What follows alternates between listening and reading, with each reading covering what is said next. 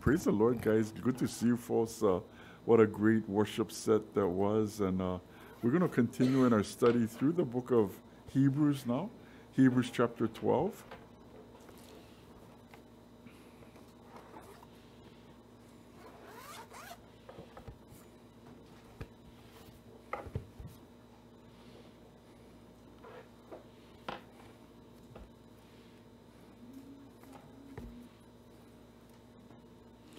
I know last week we announced, uh, we had an announcement on uh, our Sunday morning service that we're looking for volunteers, guys, in all areas of the ministry. So uh, if you'd like to help out, uh, uh, sound, praise and worship, administration, putting up street signs, AV, Sunday school, whatever it might be, uh, we could use your help. So pray about that and let us know if you'd like to participate. But in Hebrews 12, we come to a place in Scripture that many, or at least some, may not enjoy. It's a place in Scripture where the Lord speaks of discipline. Ooh, discipline, what a heavy word, yeah. We think about we had parents who were disciplinarians. We had school administrators who were disciplinarians. We had aunts and uncles, maybe, maybe even neighbors before they give you a, a swift kick in the pants, you know, if you acted up and stuff like that. But, you know, a lot of it was all in love. And uh, uh, I'd like to begin actually uh, Hebrews chapter 12. Why don't we read through the first uh, uh, four verses first? Therefore, since we have so great a cloud of witnesses surrounding us, let us lay aside every encumbrance and the sin which so easily entangles us. Let us run with endurance the race that is set before us, fixing our eyes on Jesus, the author and perfecter of faith, who for the joy set before him endured the cross despising the shame, and has sat down at the right hand of the throne of God.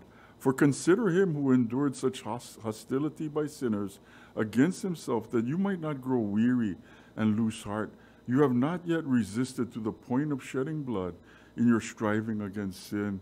I think the, the, the author of uh, Hebrews, the Holy Spirit, really uh, uh, is uh, picking up this, the, the study right here in uh, verse 3 Consider him who endured such hostility that you might not grow weary and lose heart. It seemed that the, those in the church, within the church, because of persecution, because of hard times, uh, they were growing weary. And, you know, many were tempted to kind of reject their newfound faith in Jesus Christ and kind of just fade back into the scene, fade back into the woodwork of the religious goings on with the, uh, the Hebrew religion, you know, going to church, going to temple and bringing your offering and kind of coming and going, not too dangerous, not too radical for the Roman government, pretty benign.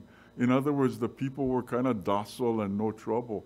Jesus came really to shake up the world, and he began with his uh, disciples, and uh, as uh, the Spirit was poured out, the world really was turned upside down. As people were getting radically saved, and people were getting radical for the furtherance of the gospel of Jesus Christ.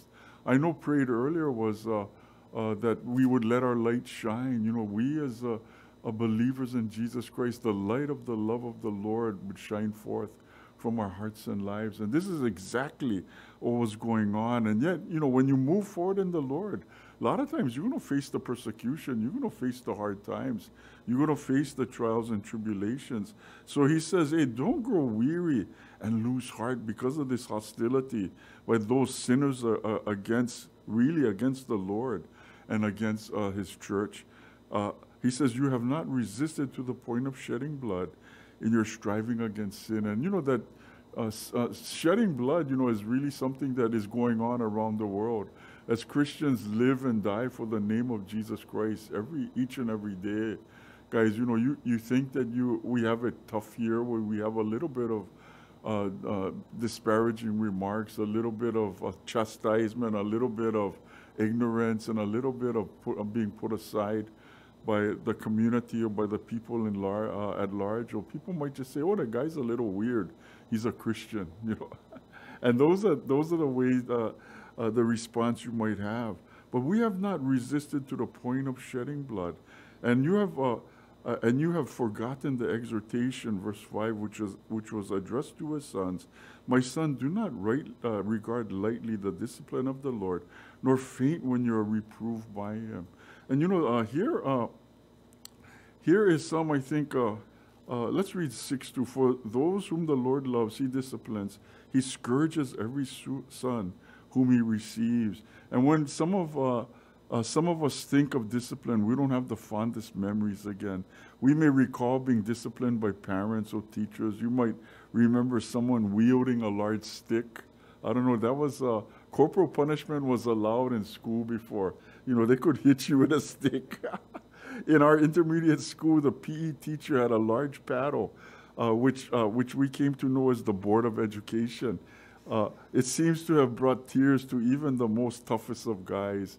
You know, as he took them into the, the, um, um, the locker room and, and told them, hey, you're going to get the Board of Education, and whack, you could hear that whack coming. And uh, the guys came out, you know, just feeling the, the pain of that discipline. But here in this verses, we, we automatically default to the thought of discipline as punishment. A lot of us, again, think of the physical paddling, the physical beating. You know, you might have had the, the yardstick, you might have had the belt, the hairbrush, you might have had the, um, uh, the clothes hanger, whatever it was. But the discipline of the Lord is in the Greek translated a little differently here in chapter 13, guys. It literally speaks of to train children to chasten, as the Webster uh, uses, the Webster dictionary uses, literally to train, train children is the thought. And you, you can kind of think that, you know, although we hear of some real horror stories about how parents treat little children, in, in general, most of the part, if parents are tender towards the little kids. So the, the Lord is not uh, wielding a big stick as to beat the sin or silliness out of us, out of us but really as a tender, loving Heavenly Father, bringing instruct, instruction and correction. And uh, you, may, you may say that I'm pretty old for this, but we, we're never too old, uh, as His desire is that we grow in the grace and the knowledge of Jesus Christ. The thought again, no matter how old we are physically, how old we are in the Lord, or how mature we think we're in the Lord, uh, the thought again is instructing children to train children with graciousness and with firmness. You know, you can be gracious, you can be firm, but loving. And this is the Father that we serve, instructing children. The word scourging he uses in verse 6 is pretty uh, uh, is a pretty harsh word, guys. It does speak of a scourge of cords or thongs, some weighted with bone, bone fragments, or even pieces of lead or metal to help inflict excruciating pain and physical flaying open of the skin and the flesh. I think this is what is portrayed at the crucifixion of Jesus guys. There was a scourging with this cat of nine tails. Uh, uh, in, embedded into the ends of the thongs were the pieces of bone or the pieces of metal that really opened up his flesh. But here uh, in verse 6 is used as a metaphor or a physical, uh, a figure of speech to get the attention of the reader. And again, the Spirit was really trying to get attention uh, of those that he wrote to because they were really in the danger of forsaking their newfound relationship in Jesus Christ and going back to that old way. It's safe at the temple, it's safe going in on the feast days, it's safe to bring your offering, it's safe not to make waves out there in the world, you know. And uh, in, in, other words, it's a safe thing, and you know we're not going to get persecuted. The Romans aren't going to come down on us, you know. And some uh, uh, some Scholars think that this letter was addressed to those in Jerusalem or those in Rome. And I really think that uh, because Jerusalem was in that place of really getting hard treatment by Rome, and in fact, Rome would uh, lay siege to Jerusalem. And uh, eventually in 70 AD, the walls of Jerusalem were broken down, and Rome came in and just destroyed the city. They destroyed the temple, they destroyed the buildings, they took all the gold, all the good stuff, and the people were scattered uh, for their faith uh, in God. You know, whether they were uh, uh, religious Jews or Christians, I think they took the hard brunt of the Roman uh, Empire. The heavy boot of Rome came down upon us. But here again, it's a metaphor for a figure of speech to get the attention of the reader. Again, the, the Lord is trying to get the attention of those saying, hey, don't go back. Don't go back into the world. Don't, don't lay back where it's safe where it's comfortable. Because at times, eh, being a Christian is not comfortable at all. Being at times is you push through the edge, you push through the forefront, you push to that place of, uh, man, you weary, you oh, you bust up, you you. I heard one of the pastors saying that uh, he was laying in the fetal position on the bed, you know, just kind of crying out to the Lord during those difficult times. And you know, all, although everything seems so perfect on the outside and so good on the outside, you know, he was just uh, cuddled up like a little child, crying out to the Father, "Hey, you know, what's going on?" And you know, the the things that we as individual believers go through. Uh, these are the things that the Spirit was trying to address. In 7 to 10, he says, For it is for discipline that you endure. God deals with you just as with sons. For what son is uh, there whom a father does not discipline? But if you are without discipline, of which you are all become partakers, then you are illegit- illegitimate children and not sons.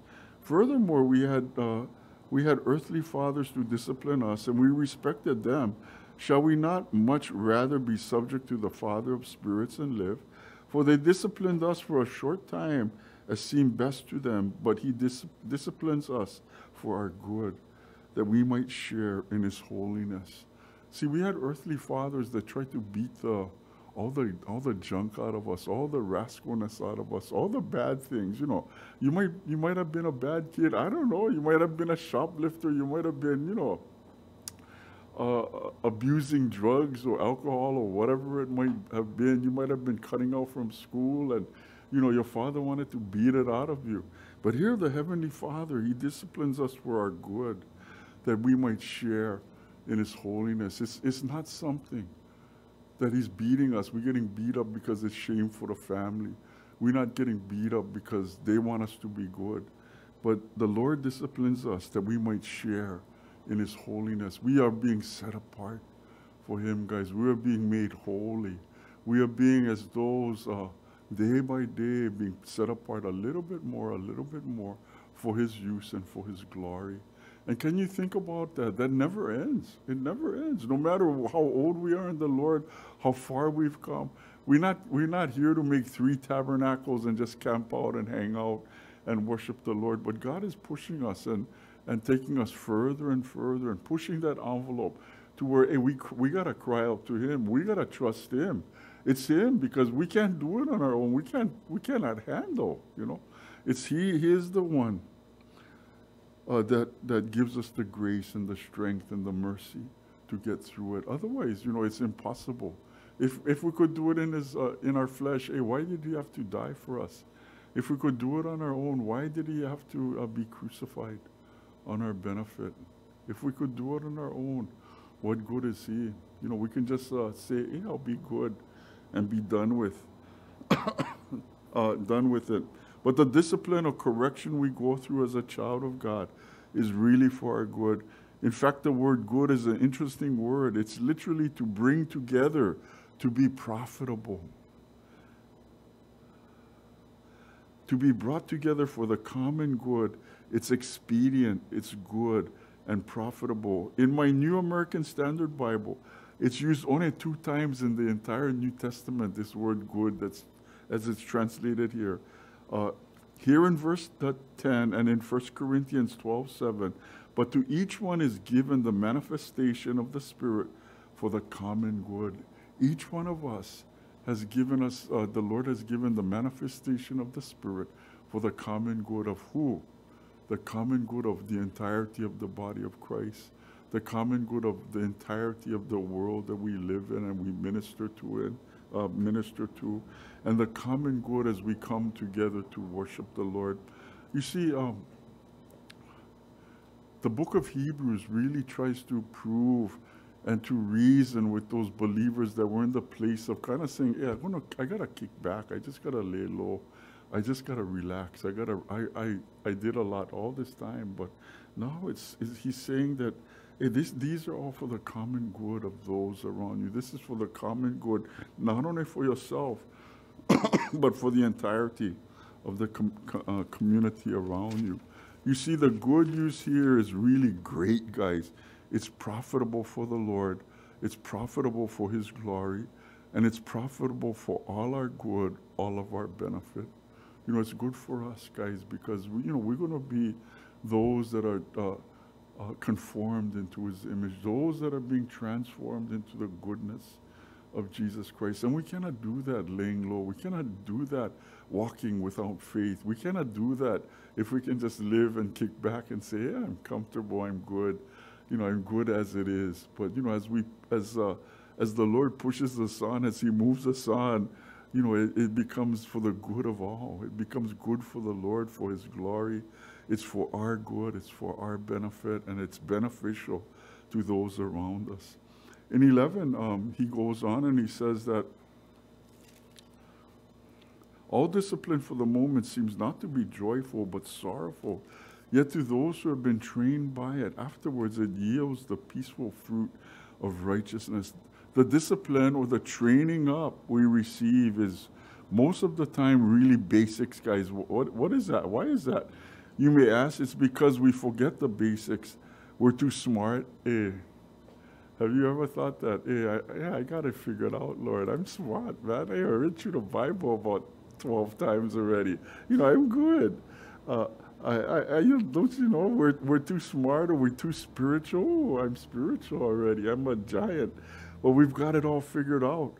But I've been watching, you know, the, the, the high school baseball championships that are leading up to the state finals. But in the ILH championship game, it was really a hard hitting game, lots of hits, lots of runs, really a close, good game. Yet at the close of one inning, it was a long, tough inning with a lot of hits and a lot of runs. It was a long one. A pop up fly to the outfield, the announcer was just ready to say it was the end of the inning. That was the third out. It was, it's the end of the inning. And uh, the ball falls into the fielder's glove and then just pops out. And you know, the, the guy was just so blown away, the announcer, and everybody was so flabbergasted. The ball just popped right out the inning continued, and it was a hard stretch for that team. But you know what I saw a, a, couple plays later, back on the third base side of the field, a line drive down the baseline. The fielder drops down to one knee. He puts his glove down and reaches out with his free hand to snap shut his glove. And uh, I said, "Wow, textbook." Just like they taught us when we were little kids. Hey, go down on take take a knee Get your glove set up for catch the ball. Have your free hand to cover cover that glove and snap the glove shut. And I said, well, it just was it was just textbook. All the training, all the discipline is profitable, making right the things of the spirit, guys. And it's a continual reminder back and forth, back and forth. He says in 12, that therefore strengthen the hands that are weak and the knees that are feeble, and make straight paths for your feet so that the limb which is lame may not be put out of joint, but rather it is healed. Therefore, because of these things, he, got, he says, strengthen the hands that may be or have grown weak, or those knees encumbered by bad practice. You know, it might be uh, it might be like those getting into an accident they need physical therapy. They need rehab. They need to be retrained. And sometimes when we, uh, we, we in intentionally or unintentionally, we take ourselves out of the game, hey, we might need a, that rehabbing. We might need uh, the building up of the physical attributes. Uh, really uh, are metaphors for our spiritual well-being. And uh, you might uh, make right your relationship, your walk with the Lord is the encouragement. Set your feet straight. Set your, your, your paths straight. Strengthen the hands that are weak, the limb that may be out of joint. Uh, he says, be, be healed. In 14 and 15, he says, Pursue peace with all men, the sanctification without which no one will see the Lord. See to it that no one's come short of the grace of God, that no root of bitterness springing up causes trouble, and by it many are defiled. These verses add practical words of wisdom for all, that we ought to pursue peace, pursue peace, uh, uh, writes the Spirit. Seek the setting apart day by day, rather than bitterness, ask for more of God's grace. We can all use more of God's grace. And you know, there are people that can drive us crazy. There are people that can cause us, to, or things or situations that may cause us to become bitter or to grow bitter in our attitude. But here, you know, the greatest thing is this root of bitterness that springs up, causes trouble. And by it, many might be defiled, and, or many might be touched by this root of bitterness. So rather than, um, you know, having this root of bitterness spring up, it's a bad seed, it's a bad fruit, it's a bad result, guys. That bring, that's poisonous to the body of Christ, that's poisonous to those around the world. He says, you know, uh, again, practical words of wisdom, pursue peace, uh, and uh, again, uh, uh, pursue grace, that no root of bitterness springs up. He says in uh, 16 to 24 that there be no immoral or godless person like Esau who sold his own birthright for a single meal. And that you should know that even afterwards, whether he desired to inherit the blessing, he was rejected, for he found no place of repentance, though he sought it with tears. And if you have not come to the mountain that may, may be touched, to, and to a blazing fire, and to darkness and gloom and whirlwind, and to the blast of the trumpet and the sound of the words which sounded uh, was such that those who heard begged that no further word should be spoken to them. For they could not bear the command, if even a beast touches the mountain, it will be stoned. And so terrible was the sight that Moses said, I am full of fear and trembling. And if you have come to Mount Zion and to the city of the living God, and the heavenly Jerusalem, and to the myriads of angels, to the general assembly and church of the firstborn who are enrolled in heaven, and to God, the judge of all, and to the spirits of the righteous men made perfect, and to Jesus, the mediator of a new covenant, and to be sprinkled by the blood which speaks better than the blood of Abel. Using Esau as an example, guys, he was one who forsook his birthright in other words, that which was entitled to him, the, the right of birth in God, the right of birth to that newness of life, that right of birth that held all of his future uh, in, in uh, his own hands. Uh, though it was emotionally charged, you know, his, uh, his uh, cry for help, uh, it, it was not able to renew or to reverse the course of his actions and his decisions. And you know, this is a tough verse, guys when you think about it, is there a, is there a sin against the spirit that, you know, cannot be reversed? Is there a sin where the guy has sealed his faith for all eternity? There's no turning back. It seems that this was the case with Esau. and we know that God desires that none would perish. We know that he desires that all would come to repentance and all come to that saving knowledge of Jesus Christ. But it was seemed that Esau was at that point of the rejection of the Holy Spirit which has become that, that sin that cannot be reversed and uh, uh, reverse the course of his actions and his decisions. It seems that there was no turning back for some. And, you know, I cannot say why we are fortunate here tonight, guys, why we are here tonight practicing right-hearted living, why are we practicing the righteousness, why are we practicing the basics, basics of God, the fellowship, the Bible study, the praise and worship, the prayer, you know, because we, we back down to the basics. We back down to dribbling the ball. We back down to throwing the ball back and forth. We back down to making sure we, we catch that ball in that mid, We're not going to drop the ball. And we there to, you know, uh, run the race. We there to, uh, uh, to fight the good fight. We there to run to win, you know, that battle. And uh, here, uh, uh, like Mount Zion guys, uh, you know, he mentions Mount Zion here, or, uh, or Mount Sinai, excuse me. It represented the law. And, you know, it says right here that not even a beast could touch the mountain, it would be stoned. It was so terrible, Moses said, I am full of fear and trembling. And that's what the law was like, guys. The law brought fear to us. The law said that, hey, if you get caught, you go in jail. Back in my day, it was, hey, you, you either had two choices. You go jail or you can go Vietnam. I had several friends that had that choice. You either go jail or you go Vietnam. And some of them did go to Vietnam. You know, no, nobody wanted to go to jail. But the law says, hey, you're so bad, either you go to jail or you go take a chance at Vietnam. You're going to have your freedom you can take your chance, come back in two years if you survive, and you know uh, everything is uh, expunged. You know your record. You're gonna be clean. But you know, uh, again, when you think of that mountain, uh, it was filled with darkness, it was filled with gloom, it was filled with whirlwind. And uh it, it, becomes a, uh, the law is something that becomes written in stone, guys. The law says if you sin, you're getting punished, man. You're getting the full brunt of punishment.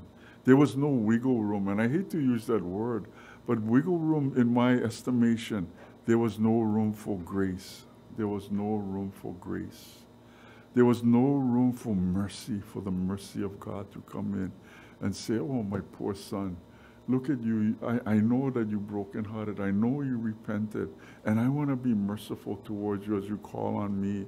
The law pointed out our sin and our shortcomings, and it brought a swift judgment to that sin. And this is what the Spirit was trying to tell the guys. Hey, you go back. You're going to go back under the law. You're going to be held by the law. You're going to be held captive. The consequences of this uh, it called for death. You know, we know that uh, the, the consequences of sin is death. We find in uh, Romans. And uh, the, the, but the free gift in Jesus Christ was life. That free gift was that mercy, that loving kindness. And I think that's what uh, attracted us because we knew that in our own life, I know many of you guys, uh, you look around, you could never be good enough to merit love, somebody to love you and to forgive you. We could never merit that. I just wasn't good enough, is the cry. Yet Mount Zion calls to mind rather, calls to mind Jesus, the author and finisher of our faith. You know, Jesus is the one full of grace, full of mercy, full of love. And I don't want to call it wiggle room, but I want to really call it he was gracious towards us. He was merciful towards us in 25 and 26. see, see to it you, don't, you do not refuse him who is speaking. For if you did not escape when they refused him, who warned them? To turn away from him who warns from heaven. And his voice shook the earth then, but now he is promising, Yet once more I will shake not only the earth, but also the heavens. This verse becomes an appeal for obedience on the part of the reader. It's kind of like a father again. You know, time and time again, I see these verses uh, in the Bible. It's like a loving father trying to reason with his child. Don't go that way. That way is only disappointment. That way is only emptiness. Sin promises you all the all the things of fulfillment, but it only brings disappointment. It only brings hurt. It only brings uh, things that bring no satisfaction at all. He brings this appeal of obedience to the part of the reader, no disregarding the warning of the, the Lord of God. The consequences would not be favorable. In other words, you know, once we turn from the goodness of God, hey, I don't know, God is always there to try and renew us to repentance. God is always there trying to uh, uh, uh, work on our behalf. But sometimes, you know, our own heart, because we've gotten so easy, we've gotten so to the point where sin is so easy. Hey, we we uh, we don't want to go back. There's no turning back. There's no turning back from that hardness of heart.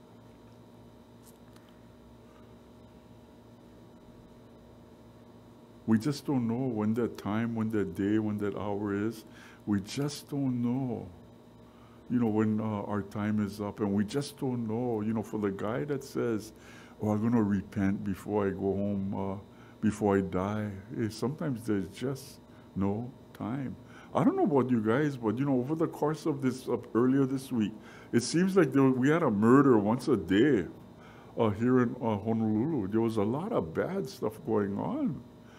And uh, we got a lot of desperados out there. They're robbing the Malasada truck. Can you imagine that? They're robbing the Malasada truck at gunpoint. They're taking people's purses. They're killing people. And, and uh, you know, this is where the heart of the people, some people are at. And, and yet Christ died for these people. He's reasoning with them. He's pleading with them. Uh, uh uh, you know, turn from your way. The concepts, you know, no disregarding the warnings of God. And, you know, many have heard the warnings, yet have turned away, have disregarded.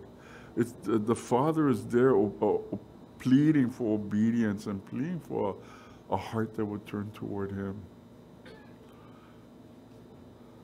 Yet, he says, that, then his vo- voice shook the earth, yet now he has promised, saying, Yet once more I will shake not only the earth, but also the heaven. There's a time coming where both heaven and earth will be shaking, guys. It's a time where the world that the world has never seen, never heard, never thought possible, never imagined. I think in our wildest dreams, uh, it's something so fearful that's going to come down upon this earth. Hopefully, we are going to be gone. We're going to be in heaven with the Lord by that time. But yet, you know, there's a time coming.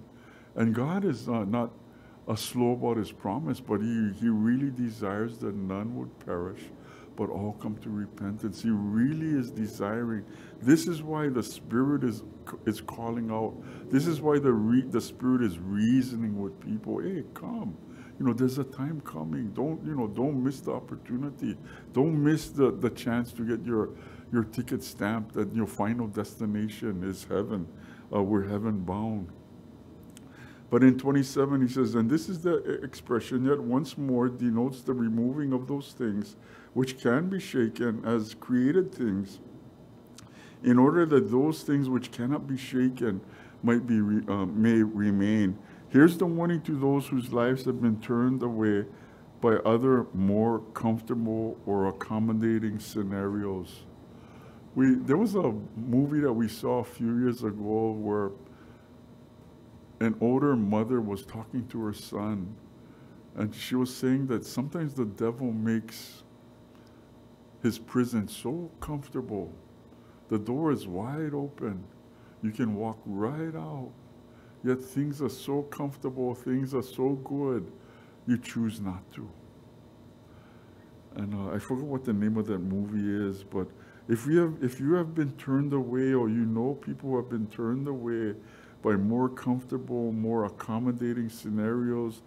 Uh, easy on the short run, but when things come due, guys, the payment or the consequences are beyond belief. You know, I think that um, some of the movies cannot uh, really depict the coming uh, tribulation that uh, is coming down. I think uh, David Jeremiah has done a really great uh, scenario on the, the time of the tribulation and what's really coming down during the tribulation period, guys. And you know, we can uh, we can see, we can read, we can reread the book of Revelation.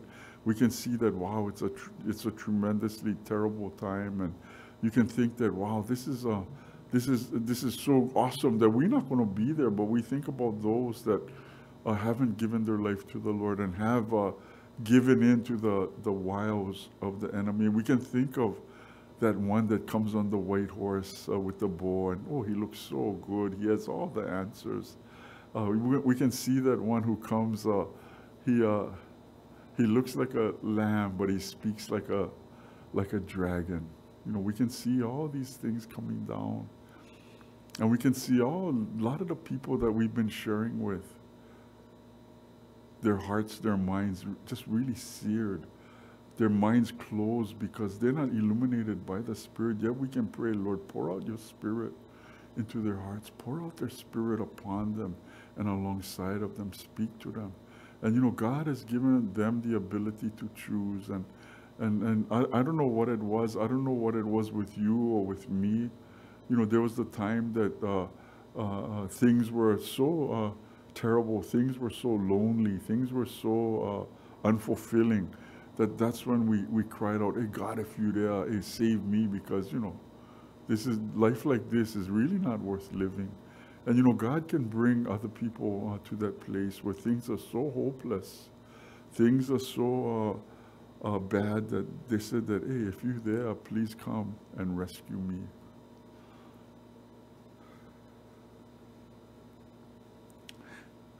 finishing the chapter 28 and 29. Therefore, since we receive a kingdom which cannot be shaken, let us show gratitude that we might offer to God an acceptable servants with service with reverence and awe. For our God is a consuming fire. Here he's talking about the uh, offering up our lives as those living sacrifices, guys, holy and pleasing unto him. We receive, we know that we receive this kingdom that cannot be shaken. He says, let us show gratitude. Let us give our very hearts and lives in totality that we might offer to God an acceptable service, service with reverence and with awe. What is that reverence? It's, it's reverence is kind of saying that we come to you, Lord, with all uh, fear and all uh, uh, uh, reverence and all awe, we come with respect for you. We come not because we're afraid, not because you're the guy with the big stick, but we come because we, we know that you loved us so much and you have all these great things set up for us. Why shouldn't we give our lives to you? Why shouldn't we, uh, as a child of God, our future and fate are settled forever in the heavens because of this? Why shouldn't we show gratitude and thanks to our holy God, you know, in all things, giving our lives, our hearts and lives over to him?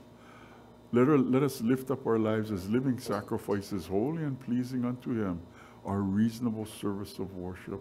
He says, not being conformed to this world, but being transformed by the renewing of the mind. You know, we go, we get back to basics, guys, and we get back to the things of, of worship. We get back to the things of praise. We get back to the things of Bible study and reading. And, you know, I must sound like a broken record to some guys. I, I, I always say, hey, read your Bible, read your Bible and pray. Get, get to, call the church, see, see if somebody can come and pick you up, you know. I know you live out of town, but can you get, you know, can you get a ride to church? Can you catch the bus to church? Can you walk to church? Can you get into fellowship? You're almost saying those same things. Are you reading your Bible? You know, don't catch it on the radio. Radio is good, but it never took the place of going to church, you know. So I think uh, here tonight we're doing the basics. Here tonight we, uh, we know that we're receiving this kingdom which cannot be shaken. We're here tonight to offer to God an acceptable servant service with reverence and with awe. God, you're a consuming fire. You're going to come and consume our lives with fire down from heaven and fill us with your power from above. Father God, we do want to thank you, Lord. We can praise you, Lord. We can pray that your spirit might arise in an even greater way in an even greater amount and in an even greater power, Lord, as we desire more of you and less of us, less of the world, Lord. And we thank you for your great faithfulness. We thank you for your love. We thank you again for your loving kindness and your tender mercies new for us this day. Bless us as we go, Lord. Help us not to forget uh, the, the warnings uh, you give to ourselves and really to the world, Lord, and uh, as uh, you desire us that we might live as those people, uh, uh, responsible people in the love of Jesus Christ, Lord, worshiping you uh, and serving you with our very hearts and lives. We thank you, Father. We praise you for this night. In Jesus' name we pray. Amen. Amen.